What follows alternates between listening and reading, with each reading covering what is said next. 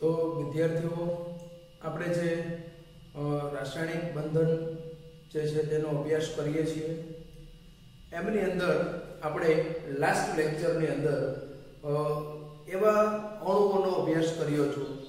એવા અણુઓના આકાર વિશે આપણે અભ્યાસ કર્યો હતો વીએસટીપીઆર થિયરીને આધારે, કે જેમની અંદર માત્ર ને માત્ર શું હોય? તો કે જેમની અંદર માત્ર ને માત્ર બંધકારક ઇલેક્ટ્રોન યુગ્મો જ આવેલા હોય.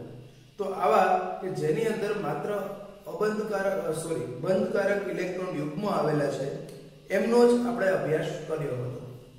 હવે અહીંયા આપણે આજના લેક્ચરની અંદર આપણે જે અભ્યાસ કરવાનો છે, તેમની અંદર બંને પ્રકારના જે અણુઓની અંદર બંધકારક ઇલેક્ટ્રોન યુગ્મ પણ હોય અને અબંધકારક ઇલેક્ટ્રોન યુગ્મ પણ હોય. આવા બંને પ્રકારના ઇલેક્ટ્રોન યુગ્મ હોય, તેવા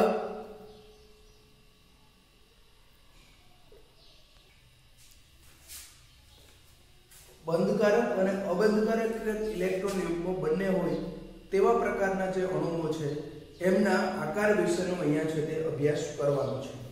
આગળ આપણે બીએસ ઈપીઆર થિયરીની અંદર જોયું કે ભાઈ જે જુદા જુદા બંધકારક છે અને અબંધકારક ઇલેક્ટ્રોન યુગ્મો છે તેનું જે અપાકર્ષણનું પ્રમાણ છે તે દરેકનું અલગ અલગ હોય છે. અને એ અપાકર્ષણનું પ્રમાણ છે તેના બંધકોણ ઉપર અસર કરે છે અને તેવી જ રીતે તેમના જે ભૌમિતિક આકાર છે તેમના ઉપર પણ અસર કરે છે. હવે જેની અંદર બંને પ્રકારના હોય તેનો આપણે વન બાય વન છે તે અભ્યાસ કરીશું.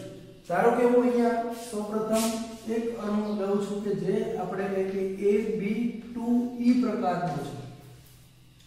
એ બી ટુ ઈ પ્રકારનો છે. એ એટલે અહીંયા આપણો કેન્દ્રસ્થ પરમાણુ છે. બી એટલે એમાં આવેલા બંધકારક ઇલેક્ટ્રોન યુગ્મોની સંખ્યા. બી એટલે એમાં શું આપણને દર્શાવે છે? તો કે એમની અંદર આવેલા બંધકારક ઇલેક્ટ્રોન યુગ્મોની સંખ્યા.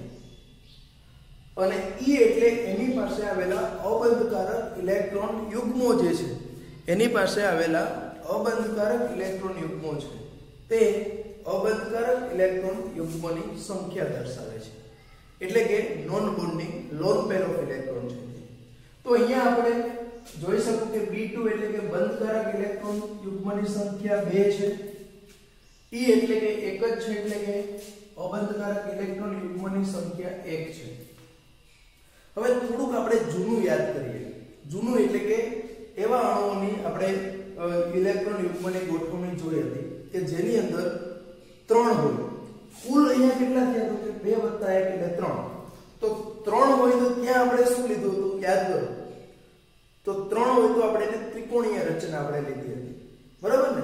તો સેમ અહીંયા પણ ઇલેક્ટ્રોન કુલ ઇલેક્ટ્રોન યુગ્મની જે રચના છે તે કેવી થશે?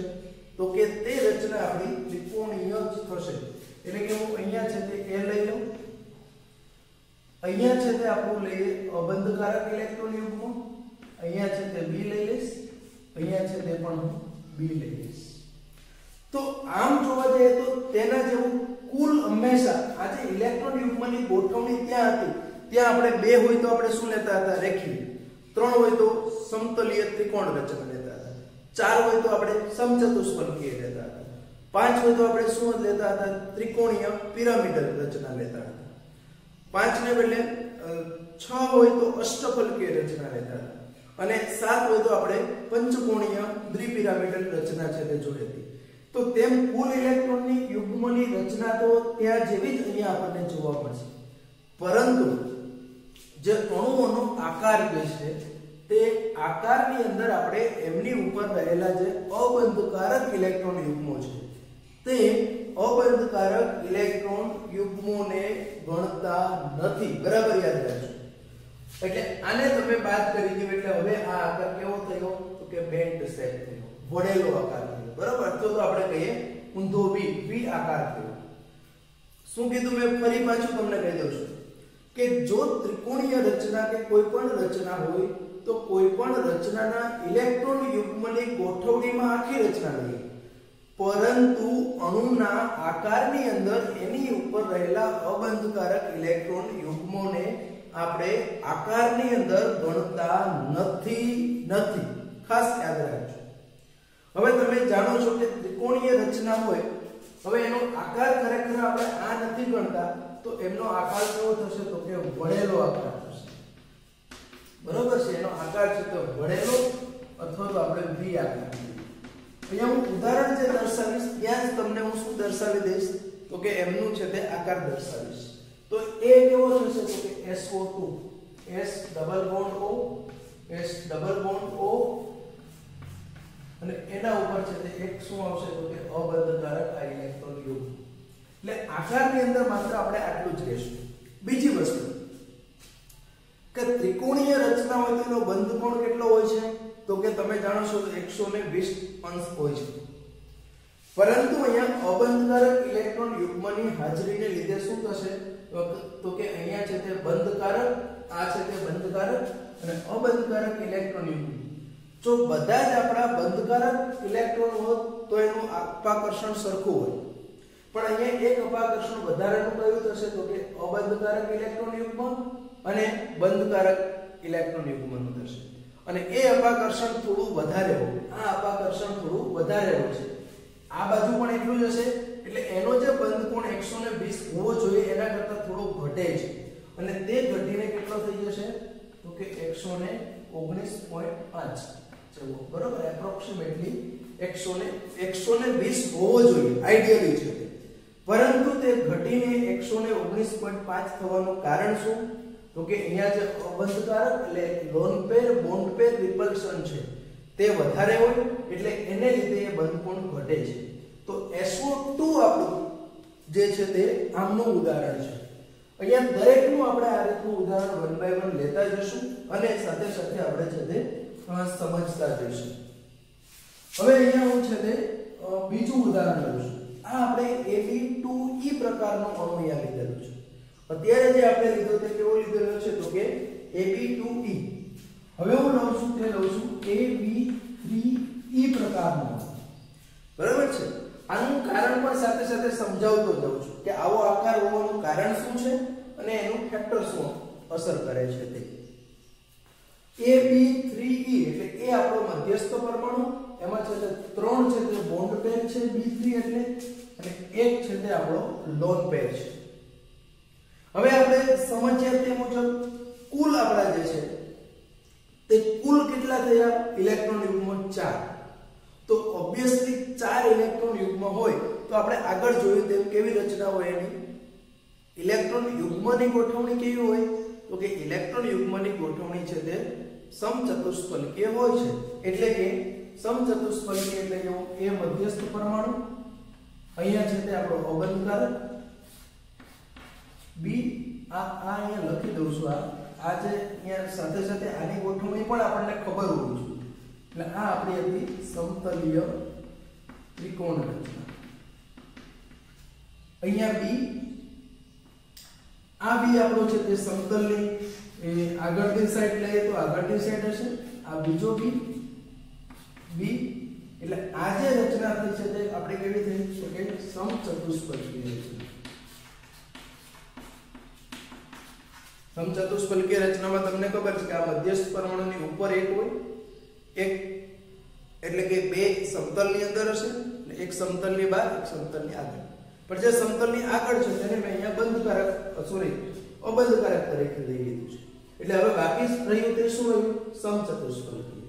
અને સમચતુષ્ફલકીય રચના હોય, પરંતુ આપણે અહીંયા કીધું તે મુજબ, જો એક અહીંયા બીજી SO2 માં ઉદાહરણ કે દ્વિબંધને આપણે આગળ આપણે VS EPR થિયરની જે અભિધારણાઓ જોઈએ એમાં આ વસ્તુનો ઉલ્લેખ કર્યો હતો કે દ્વિબંધને આપણે સિંગલ બોન્ડ તરીકે, અતિ એકી ઇલેક્ટ્રોન યુગ્મ તરીકે કન્સિડર કરીએ છીએ. તો અહીંયા આપણે આને એકી જ ઇલેક્ટ્રોન યુગ્મ કન્સિડર કર્યું છે, બરાબર? કે દ્વિબંધને આપણે વિશિષ્ટ રીતે કંઈ સમજતા હોતા નથી. તો એ નિયમ અહીંયા આપણે પાછો એક ઉદાહરણ દ્વારા પણ સમજી લીધું. ઓકે હવે પાછો અહીંયા આવી જાઉં. તો અહીંયા ત્રણ છે એટલે એની રચના છે તે સમચતુષ્ફલકીય થશે હવે, આ સમચતુષ્ફલકીય રચનાની અંદર આપણે પહેલા જ કીધું કે આજે આપણો ઇલેક્ટ્રોન યુગ્મ છે, તેને આપણે ગણતા નથી. બરાબર છે? એમને આપણે ગણતા નથી. તો પછી અહીંયા શું થશે? તો એનો આકાર હવે આટલો બાદ કરી ગયો તો એનો આકાર શું થઈ ગયો? તો કે પિરામિડલ રચના થઈ બરાબર છે? એનો આકાર કેવો થઈ ગયો? તો કે પિરામિડલ રચના આપણને જોવા મળશે. એટલે આમનો આકાર તે આપણને કેવો જોવા મળે? તો કે પિરામિડલ પણ કેવો તો કે ત્રિકોણીય. પિરામિડલ જોવા મળે છે. અને એનું ઉદાહરણ છે આપણું NH3 NH3 માં અહીંયા આપણો હું નાઇટ્રોજન લઈ લઈશ. એના ઉપર એક આપણો છે ત્યાં અબંધકારક ઇલેક્ટ્રોન યુગ્મ. ત્રણ એની જોડે હાઇડ્રોજન છે તે આ રીતના આવેલા છે. આ આ સમતલની આગળની બાજુ છે. તો જ તે આ રીતની રચના થાય ને, એક અહીંયા હશે, બે અહીંયા હશે. તો એ ત્રિકોણીય રચના થશે.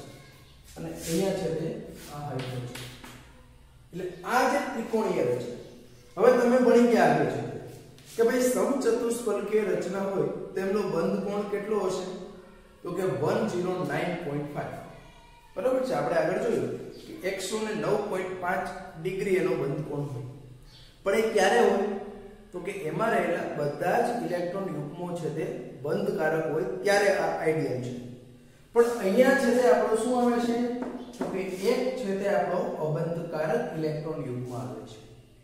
અને આ અબંધકારક ઇલેક્ટ્રોન યુગ્મ છે તેમને લીધે અને આ બંધકારક ઇલેક્ટ્રોન યુગ્મ એમના વચ્ચે શું થાય છે? તો કે અપાકર્ષણ. અને એ LP BP lone pair bond pair અપાકર્ષણ છે તે બોન્ડ પેર બોન્ડ પેર કરતા કેવું હોય તો કે વધુ હોય છે.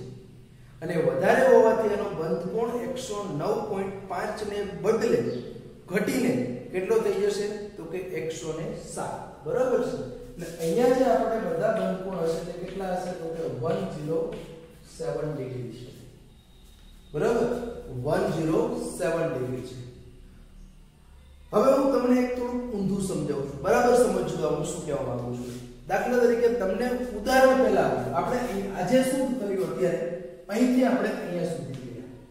પણ એને બદલે તમને ઊંધું આપ્યું છે કે ઉદાહરણ પહેલા આપી દીધું છે. હવે આપણને કીધું કે NH3 છે તે કયા પ્રકારનો છે તો એ કેમ ખબર પડશે? તો કે NH3 માં કેન્દ્રસ્થ પરમાણુ કયો? નાઇટ્રોજન. નાઇટ્રોજન કયા સમૂહનું તત્વ? તો કે નાઇટ્રોજન છે તે 15મા સમૂહનું તત્વ તો 15મા સમૂહમાં તત્વના સંયોજકતા ઇલેક્ટ્રોન કેટલા હશે? 5 હશે. બરાબર? 5 હશે. હવે આપણને કહી દીધું કે NH3 એટલે પાંચ પૈકીના ત્રણ છે. આ એક, બે અને ત્રણ. પાંચ પૈકીના આજે ત્રણ છે. NH3 છે એટલે ત્રણ તો બંધકારકમાં વપરાઈ ગયા છે. હવે કેટલા ઇલેક્ટ્રોન વધ્યા? બે. બે એટલે કેટલા યુગ્મ થયું? એક યુગ્મ. એટલે કે AB3 કેવો થયો? E પ્રકારનો. હું દરેકમાં સમજાવીશ એટલે તમને ખ્યાલ આવી જશે. ઉદાહરણ ઉપરથી પણ આપણને કઈ રીતનું છે તે ખ્યાલ આવી જશે. બરાબર? હવે હું થર્ડ એક્ઝામ્પલ તરફ છે તે જઉં છું. અને તે થર્ડ એક્ઝામ્પલ છે તે આપણે લેવું છે. AB2 E2 પ્રકાર. બરાબર છે? AB2 E2 પ્રકાર. કે જે AB2 E2 છે કે જેની અંદર તમે જોઈ શકો કે બે છે કેવા હોય. બંધકારક છે અને બે છે કેવા છે? અબંધકારક છે. એટલે કુલ કેટલા થયા? ચાર. તો ચાર કુલ ઇલેક્ટ્રોન યુગમાં જો ચાર હોય, તો એની રચના તો આપણને ખબર જ છે કે કેવી હશે? કે સમચતુષ્ફલકીય રચના છે બરાબર? ચાર આપણા હોય, તો એની રચના તો આપણને ખબર જ છે કે સમચતુષ્ફલકીય, એટલે કે એ આપણો કેન્દ્રસ્થ પરમાણુ આ એક બંધકારક ઇલેક્ટ્રોન યુગ્મ, આ બીજું હશે, આ બંધકારક અને આ બંધકારક. એટલે કે અહીંયા કુલ ચાર જ છે, એટલે એની રચના તો આપણી સમચતુષ્ફલકીય જ હશે, અહીંયા જે છે. ઇલેક્ટ્રોન યુગ્મની ગોઠવણી છે તે સમચતુષ્ફલકીય જ હશે. પણ આપણે કીધું તે મુજબ આ અબંધકારક ઇલેક્ટ્રોન યુગ્મો છે, તેને આપણે આકારમાં ગણતા નથી. એટલે એને જો તમે બાદ કરી દો, તો એ માત્ર આવા બે બે જ આપણને જોવા મળશે. એટલે એનો આકાર પણ કેવો થશે? આપણે એને કહીએ છીએ કોણીય આકાર. કોણીય પણ કહીએ છીએ, બેન્ડ પણ કહીએ છીએ, વળેલો પણ કહીએ છીએ બધું સરખું છે, બરાબર છે? એટલે એનો આકાર કોણીય આપણે કહીએ અથવા તો આપણે કેવું કહીએ છીએ, વળેલો. સોરી આપણે થોડું કલરને આપણે કોમ્બિનેશન જાળવી રાખીએ. તો આપણને અલગ દેખાય શું છે એટલે એમનો જે આકાર છે તે અહીંયા જો હશે? કે આ આકાર અહીંયા અથવા તો વળેલો આપણે કહીએ હવે એનું ઉદાહરણ આપણું H2O છે. ઓક્સિજન, એની સાથે એક હાઇડ્રોજન, બીજો હાઇડ્રોજન અને સાથે સાથે એની પાસે કેટલા છે? કે બે અબંધકારક ઇલેક્ટ્રોન યુગ્મો છે. હવે તમે આગળ ભણી ગયા છે આપણે કે સમચતુષ્ફલકીય રચના જો હોય, તો સમચતુષ્ફલકીય રચનામાં એમનો જે બંધ કોણ છે તે 109.5 હોય છે. પણ અહીંયા સમચતુષ્ફલકીય રચનાની અંદર અહીંયા આપણું એક અબંધકારક ઇલેક્ટ્રોન યુગ્મ અહીંયા કેટલા થશે? બે થશે. એટલે હવે બધું સમચતુષ્ફલકીય હોય, એટલે કે મિથેન આપણે લઉં, તો મિથેનમાં ચારે ચાર છે તે બંધકારક ઇલેક્ટ્રોન યુગ્મો છે. એટલે ચારે ચાર બંધકારક ઇલેક્ટ્રોન યુગ્મો જો હોય તો એની અંદર આપણે શું કહી શકીએ? તો કે આઈડિયલ બંધ બીપી બીપી અપાકર્ષણ હશે પણ અહીંયા છે તે એક અહીંયા વધારાનું એલપી બીપી છે, જ્યારે અહીંયા છે તે ત્રણે, ત્રણ પ્રકારના અપાકર્ષણ થશે. આ બે અબંધકારક ઇલેક્ટ્રોન યુગ્મો છે, એમની વચ્ચે કયું? તો કે LP LP. Lone pair lone pair, સૌથી વધારે. હવે આ બે, એટલે લોન પેર લોન પેર આનું અપાકર્ષણ થાય એટલે એને એકબીજાથી આ દૂર જશે. હવે આ થશે તે કયું તો કે lone pair bond pair lone pair bond pair એટલે એ અપાકર્ષણ આમાં થાય, એમના કરતા કેવું થશે? વધારે થશે. અને ત્રીજું છે તે આ બોન્ડ પે બોન્ડ પે ત્રણેય પ્રકારના અપાકર્ષણ અહીંયા શક્ય બને છે. પણ એ પૈકી લોન પેર લોન પેર સૌથી વધુ હોવાને લીધે આનો બંધ કોણ 109 ને બદલે ઘટીને કેટલો થશે? તો કે 104.5 બરાબર? એ બંધ કોણ ઘટીને કેટલો થશે? તો કે એ બંધ કોણ છે તે આપણો ઘટીને 104. ફાઈવ ડિગ્રી છે તે જોવા મળે છે. બરાબર ને? એ બંધકોણ આપણને 104.5 ડિગ્રી જોવા મળે છે. હવે અહીંયા હું પાછું અહીંયા ઊંધું લઉં કે H2O એ કેવા પ્રકારનો અણુ છે? તો આપણે તરત જ ખબર પડી જશે કે ભાઈ H2O જે છે તેની અંદર છે તે શું થશે? તો કે H2O ની અંદર છે તે મધ્યસ્થ પરમાણુ ઓક્સિજન છે. ઓક્સિજન એટલે 16મા સમૂહ અને 16મા સમૂહ પાસે કેટલા હોય તો કે છ સંયોજકતા ઇલેક્ટ્રોન હવે આપણને કીધું H2O એટલે એ તો ખબર પડી કે બે હાઇડ્રોજન એની સાથે જોડાયેલા છે. એટલે એક અને આ બે. બે કેવા છે? તો કે બંધકારક. વધ્યા કેટલા ઇલેક્ટ્રોન એની પાસે? તો કે ચાર. ચાર ઇલેક્ટ્રોન એટલે કેટલા થયા? તો કે બે યુગ્મ. એટલે શું થઈ ગયું? A B2 અને આ E1 E2 A B2 E2 પ્રકારનો અણુ છે. પછી તો તમે આનું થોડું આ રીતનું સમજીને પણ આ વસ્તુ છે તે લખી શકો છો. બરાબર? તો અહીંયા આપણે થોડ એક્ઝામ્પલ છે જે આમનું લીધેલું છે. ત્યારબાદ આપણે ફોર્થ એક્ઝામ્પલ તરફ જઈએ કે Ab2 E2 આપણે જોયું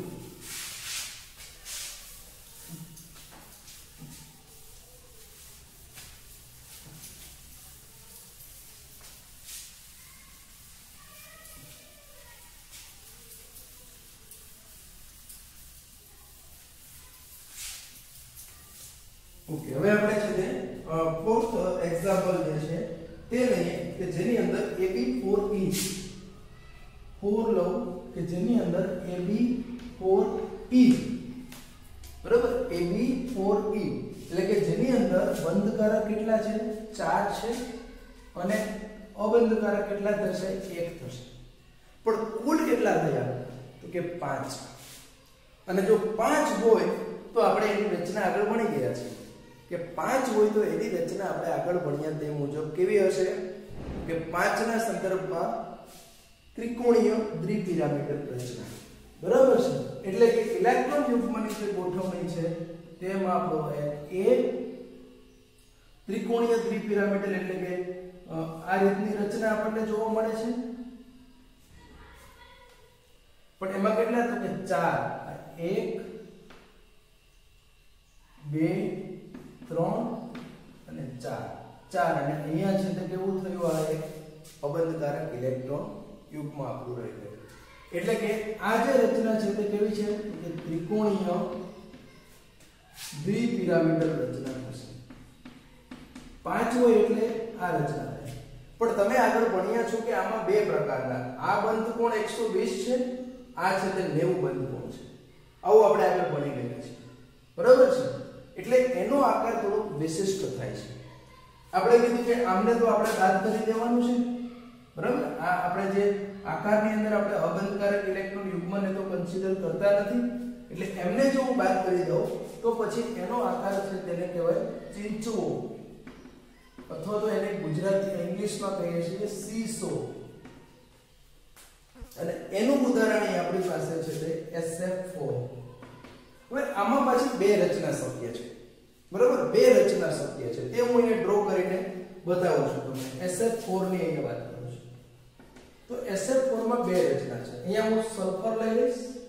એની સાથે આ એક રચના આવી છે કે જેમાં ફ્લોરિન ફ્લોરિન ફ્લોરિન અને આપણા અબંધકારક ઇલેક્ટ્રોન યુગ્મ છે તે ક્યાં છે એનું સ્થાન?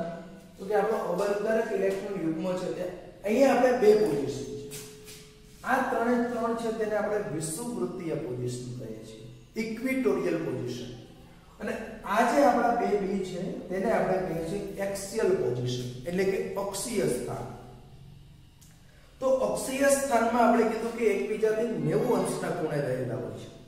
એટલે બીજું આપણે કીધું કે લોન પેર બોન્ડ પેર અપાકર્ષણ વધારે થાય. બોન્ડ પેર બોન્ડ પેર કરતા. હવે જેટલા વધારે એકબીજાની હોય તેટલું અપાકર્ષણ વધારે. એટલે જેટલો બંધ કોણ ઓછો, જેટલો ઇલેક્ટ્રોન યુગ્મો વચ્ચેનો બંધ કોણ ઓછો, એટલા એકબીજાની વધારે નજીક. અને જેટલા એકબીજાની વધારે નજીક, એમની વચ્ચે અપાકર્ષણ કેવું થશે? તો કે વધારે થશે. તો અપાકર્ષણ અહીંયા વધારે થશે એનો અર્થ એવો થયો કે આ એક પોઝિશન કે જેમાં આના સંદર્ભમાં આ બધા કેટલા 120 અંશના ખૂણે છે.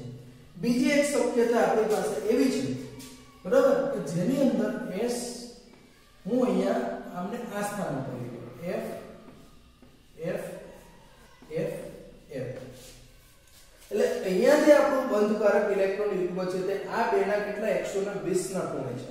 જ્યારે અહીંયા રહેલું છે આ 1 1 2 અને 3 ત્રણે, ત્રણ સાથે કેટલા અંશના ખૂણે છે?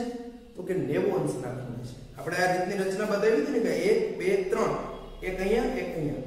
તો આ એક ત્રણ સાથે 90 અંશના ખૂણે રહેશે. અને 90 અંશના ખૂણે રહે એટલા માટે તે શું થશે? તો કે એકબીજાની વધારે નજીક હશે અપાકર્ષણ વધારે થશે, એટલે એની સ્થિરતા છે તે ઓછી છે. અને એટલા માટે આપણે એવું કહીએ છીએ કે જ્યાં આવી ત્રિકોણીય દ્વિપિરામિડલ ઇલેક્ટ્રોન યુગ્મોની ગોઠવણી હોય. ફરીથી કહું છું, જે અણુની અંદર ઇલેક્ટ્રોન યુગ્મોની ગોઠવણી ત્રિકોણીય દ્વિપિરામિડલ હોય ત્યારે હંમેશા અબંધકારક ઇલેક્ટ્રોન યુગ્મો, એટલે કે લોન પેર છે, તે કયા સ્થાન ઉપર? તો કે વિષુવવૃત્તીય સ્થાન ઉપર હોય તેવી રચના, સ્થાયી રચના.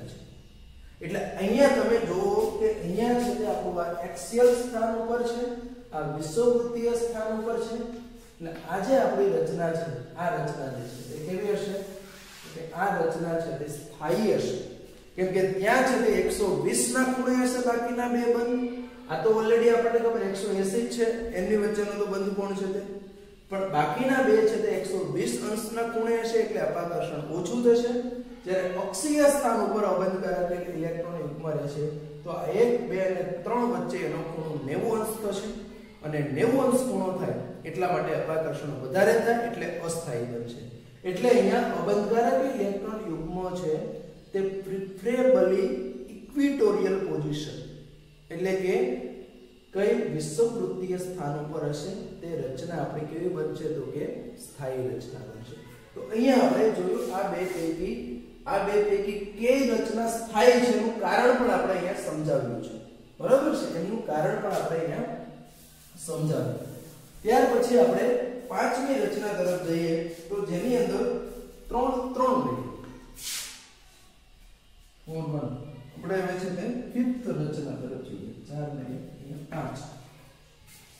તો ફિફ્થ પોઝિશન જે છે, તે ફિફ્થ પોઝિશનમાં હું લઉં છું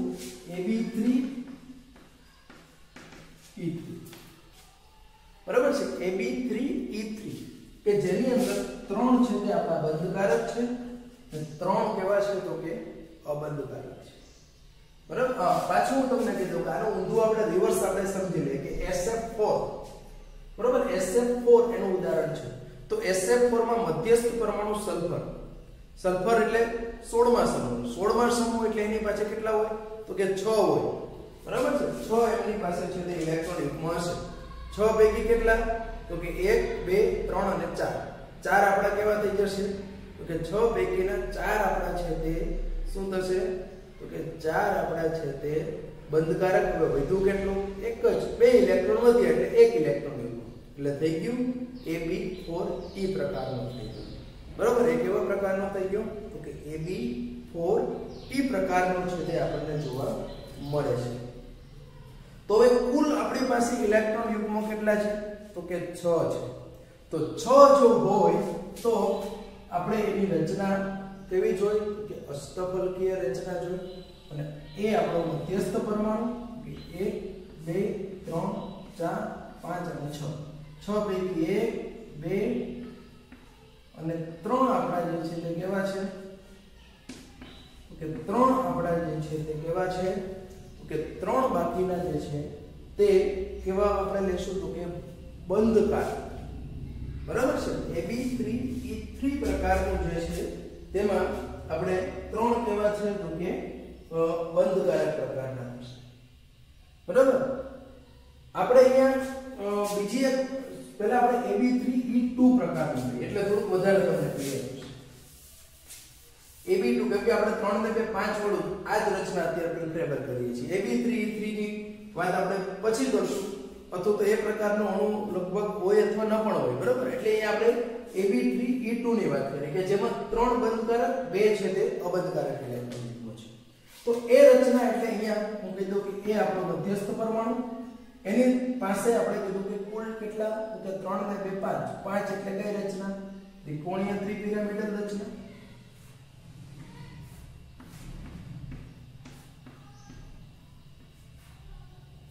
અહીંયા બી બી બી.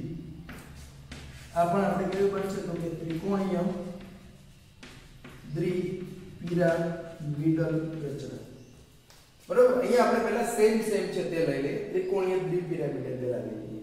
તો આ આપણું છે AB3E2 રચના જે હતી કે જેમાં આપણો આકાર છે તે ત્રિકોણીય દ્વિપિરામિડલ છે. પણ હવે અહીંયા ફેર એટલો છે કે અહીંયા એક જ અવબંધકારક ઇલેક્ટ્રોન યુગ્મ હતો. અહીંયા કેટલા છે? બે છે. હવે એનો આકાર છે તે આપણો ટી સેલ છે. બરોબર? ટી આકાર છે. તો ટી આકાર કઈ રીતનો છે તે સમજીએ. એનું ઉદાહરણ આપણે લઈએ છીએ ClF3 તો હવે અહીંયા ત્રણ શક્યતાઓ છે, સમજો. એક રચના એવી છે. અહીંયા આપણે કીધું કે આ પાંચે પાંચ બંધ સરકાર અહીંયા ત્રણ રચનાઓ શક્ય બનશે એક રચના હું એવી લઈશ કે જેની અંદર આપણો બંને ઇલેક્ટ્રોન અબંધકારક ઇલેક્ટ્રોન યુગ્મને હું કયા સ્થાન ઉપર લઉં છું? તો કે ઇક્વિટોરિયલ સ્થાન ઉપર લઉં છું. સોરી એક્સેલ સ્થાન ઉપર. આ એક રચના તો એ રચના તમે જોઈ શકો કે કેવી થઈ ત્રિકોણીય રચના થઈ આને તો આપણે આકારમાં કન્સિડર નથી કરતા. બીજી રચના હું લઈશ કે જેમાં એક અબંધકારક ઇલેક્ટ્રોન યુગ્મ એક્સેલ ઉપર, એક છે તે આપણો છે તે ઇક્વિટોરિયલ અને ત્રીજી રચના હું અહીંયા ડ્રો કરું છું. કે જેમાં બંને આપણા જે ઇલેક્ટ્રોન યુગ્મો છે, એ બંને ઇલેક્ટ્રોન યુગ્મને હું ક્યાં લઉં છું? તો કે ઇક્વિટોરિયલ પોઝિશન તો હવે તમે જોઈ શકો કે અહીંયા છે તે બંને આપણા અબંધકારક ઇલેક્ટ્રોન યુગ્મો છે, તે કયા સ્થાન ઉપર છે? એક્સિયલ અક્ષીય સ્થાન અને હમણાં જ મેં કીધું કે અક્ષીય સ્થાન ઉપર એક 90 અંશના ખૂણે એટલે અપાકર્ષણ મહત્તમ થાય. એટલે આ રચના સૌથી રચના અહીંયા એક એક્સેલ પર એક ઇક્વેટોરિયલ અક્ષીય વિશ્વવૃત્તીય પણ આમાં પણ આ તો આપણો છે તે તો 90 અંશના કોણે રહેવાનો એટલે એમની વચ્ચે તો અપાકર્ષણ થવાનું છે. ત્યારબાદ આ જે રચના છે, આની અંદર બંને આપણા છે તે કે કયા સ્થાન ઉપર છે? તો કે બંને અબંધકારક ઇલેક્ટ્રોન યુગ્મો છે તે વિષુવવૃત્તીય સ્થાન ઉપર જ છે. અને એ સ્થાન ઉપર એ હોવાને લીધે અહીંયા અપાકર્ષણ મહત્તમ થશે. અને મહત્તમ અપાકર્ષણતા એટલે સ્થિરતા એની કેવી હોય છે? તો કે મેક્સિમમ હશે એટલે તમે જોઈ શકો કે અહીંયા છે તે આ આકાર જે છે તે આ થઈ ગયો ટી બરાબર છે? આ ટી આકાર છે. એટલે આને આપણે કહીએ છીએ ClF3 છે BrF3 છે. આપણે એનું બીજું ઉદાહરણ છે હવે આપણે અહીંયા પણ ઉલટું સમજી લઈએ કે ક્લોરીન આપણો મધ્યસ્થ પરમાણુ છે. ક્લોરીન એટલે તમને ખબર કે 17 માં સમૂહનું તત્વ છે. અને 17 મો સમૂહ એટલે એમની પાસે કેટલા? તો કે 5 ને 2 7 અબંધકારક સોરી સંયોજકતા ઇલેક્ટ્રોન હશે 7 હવે આ 7 પૈકી આપણે કીધું તે મુજબ કેટલા? તો કે F3 એટલે 1 2 3 ત્રણ આપણા બંધકારક એટલે A, B 3 થઈ હવે કેટલા રહ્યા? ઇલેક્ટ્રોન 1 2 3 અને 4 ચાર એટલે કેટલા યુગ્મ? કે બે યુગ્મ. એટલે શું થઈ ગયું?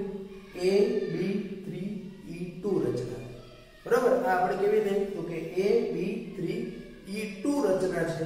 તે અહીંયા આપણને જોવા મળે છે. કે જેની અંદર ત્રિકોણીય દ્વિપિરામિડલ રચનામાં ત્રણે, જો આપણે આપણે યાદ રાખવાનું છે, ત્રણે ત્રણ શક્યતાઓ પૈકી કે શા માટે એનો ટી શેપ છે? એનું કારણ આપણને પૂછે તો ત્રણેય રચનાઓ દોરવાની અને એનું કારણ લખવાનું. કે અહીંયા સૌથી વધારે અપાકર્ષણ ઓછું, સૌથી ઓછું. બરાબર? એટલા માટે એમની જે રચનાઓ છે તે આપણી કેવી હશે? તો કે આ પ્રકારે જોવા મળે. પાંચ પછી આપણે છે તે સિક્સ નંબર ઉપર જવું છે. તો અહીંયા આપણે જોયું AB3E2 જે રચના છે તે જોયું હવે આપણે જોવું છે AB5E રચના. AB5E રચના. તો AB5E એટલે તમે જોઈ શકો કે કુલ એમાં કેટલા થશે? તો કે 6 પાંચ આપણા બંધકારક, એક છે તે આપણું છે તે અબંધકારક. એટલે કુલ 6 અને કુલ 6 એટલે હમણાં જ આપણે જોયું કે એની ગોઠવણીની અંદર કેવી હશે? 6 હોય એટલે એની રચના અષ્ટફલકીય જોવા મળશે.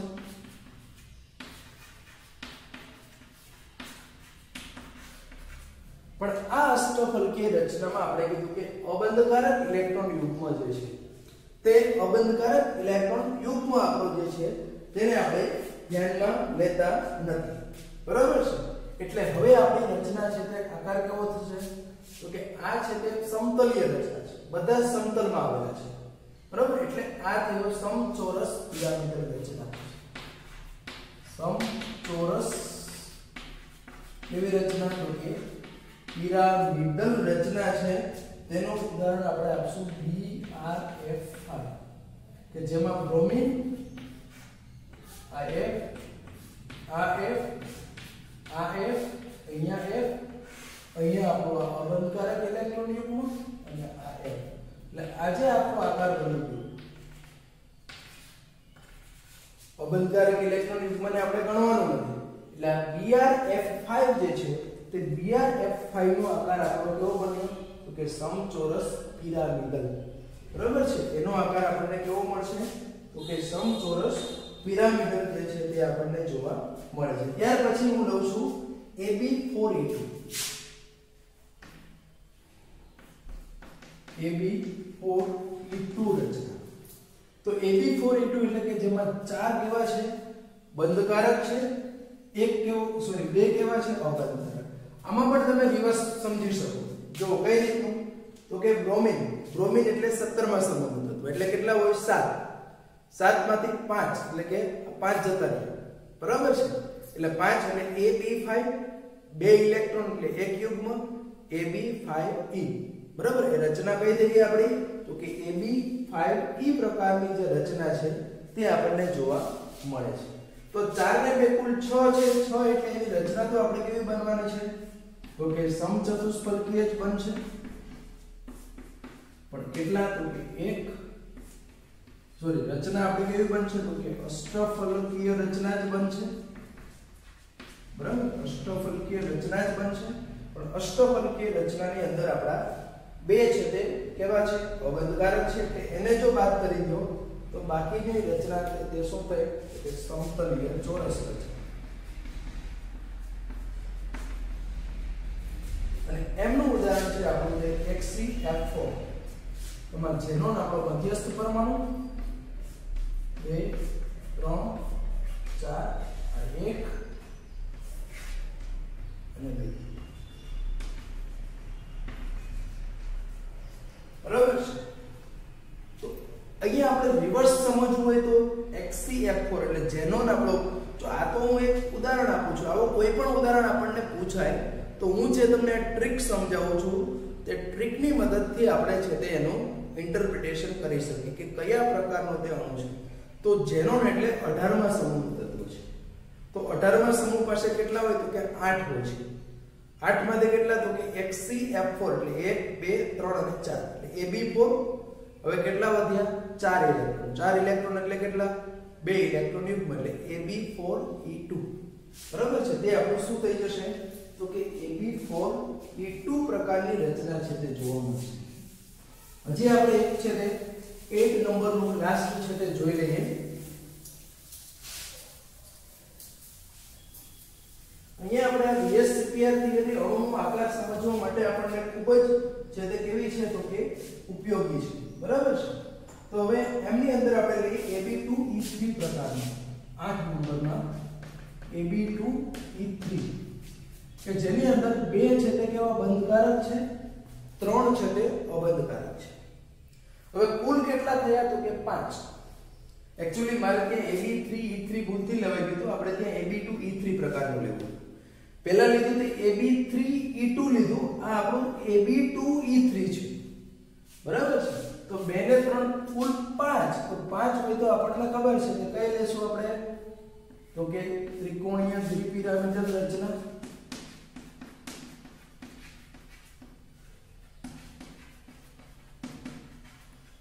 કે જેમાં અબંધકારક ને તો આપણે ખબર જ છે કે ક્યાં મૂકી દેવાના છે? 1 2 અને 3 છે. અહીંયા બંધકારક અહીંયા બંધકારક. બરાબર? એનો આકાર, આ બંને તો આપણે કાઢી જ નાખવાનું છે ત્રણેયને, એટલે હવે કેવો આકાર થઈ ગયો? તો કે એનો આકાર કેવો થશે? તો કે રેખીય આકાર. અને એનું ઉદાહરણ છે કે XCF2 કઈ રીતે હવે જોઈએ? તો કે ઝેનોન હવે આપણે કીધું કે જો ત્રિકોણીય દ્વિપિરામિડલ રચના હોય અને એમની અંદર જો અબંધકારક ઇલેક્ટ્રોન યુગ્મો આવેલા હોય, તો અબંધકારક ઇલેક્ટ્રોન યુગ્મનું સ્થાન હંમેશા ક્યાં હોય? વિષુવવૃત્તીય સ્થાન પર. અપઘર્ષણ ઓછું હોય, સ્થિરતા વધારે હોય. તો હવે ત્રણ અહીંયા અબંધકારક ઇલેક્ટ્રોન યુગ્મ છે. તો એ ત્રણે ત્રણ જે આપણે ત્રણ વિષુવવૃત્તીય પોઝિશન છે આ એક, આ બે અને આ ત્રણ છે. ત્યાં આ એક, આ એફ તો હવે તમે જોઈ શકો કે એનો આકાર કેવો થઈ ગયો છે, રેખીય છે. હવે આપણે અહીંયા રિવર્સ સમજીએ તો ઝેનોન એટલે 18મા સમૂહનું 8 ઇલેક્ટ્રોન 8 પૈકી આપણે F2 એટલે બે ઓછા થઈ ગયા, હવે કેટલા રહ્યા? તો કે 5 ને 1 6 6 એટલે કેટલા? 3 તો શું થઈ ગયું? Ab2E3 તો આ રીતનું આપણે કોઈ પણ કોઈ પણ સંયોજન છે તે કોઈ પણ સંયોજનનો આકાર છે તે VSEPR થિયરીની મદદથી છે તે સમજાવી શકીએ. તે સંયોજન આપણું, જે સંયોજનોની અંદર આપણે કીધું કે શું હોઈ શકે? તો કે જેની અંદર માત્ર બંધકારક ઇલેક્ટ્રોન યુગ્મ હોય, તો તેના માટે પણ સમજાવી શકીએ. અને જે સંયોજનોની અંદર બંધકારક અને અબંધકારક ઇલેક્ટ્રોન યુગ્મો બંને હોય, ત્યારે પણ આપણે VSEPR થિયરીને આધારે એનો જે આકાર છે તે સમજાવી શકીએ છીએ. પરંતુ અહીંયા જેમ આપણે કીધું કે કોસ્ટલ લેવિસ રચના જે હતી, એની થિયરી હતી, તે સંપૂર્ણ સાચી ન હતી. એમની કંઈક મર્યાદા હતી. એટલે અહીંયા આપણે સિડવિક અને પોવેલ, ત્યારબાદ ગિલિસ્પી અને નાયફોર્મ છે, જેણે વીએસ એપીઆર થિયરી ડેવલપ કરી. પરંતુ આ થિયરી પણ સંપૂર્ણપણે આપણે કીધું કે પી વિભાગના તત્વોના જે સંયોજનો હોય, તેનો આકાર તે સમજાવી શકે છે. પરંતુ બાકીના માટે પણ આ થિયરી આપણે કદાચ એપ્લાય ન પણ કરી શકીએ. એટલા માટે હવે પછી આપણે એમનાથી વન સ્ટેપ અહેડ જઈને આમના કરતા વધારે ડેવલપ થિયરી છે તે એટલે કે બીબી થિયરી જેને આપણે કહીએ છીએ સંયોજકતા બંધનવાદ આ જે સંયોજકતા બંધનવાદ છે તે હવે જ્યારે આપણે મળશું ત્યારે એમનો છે તે વિશેષ અભ્યાસ છે તે કરીશું.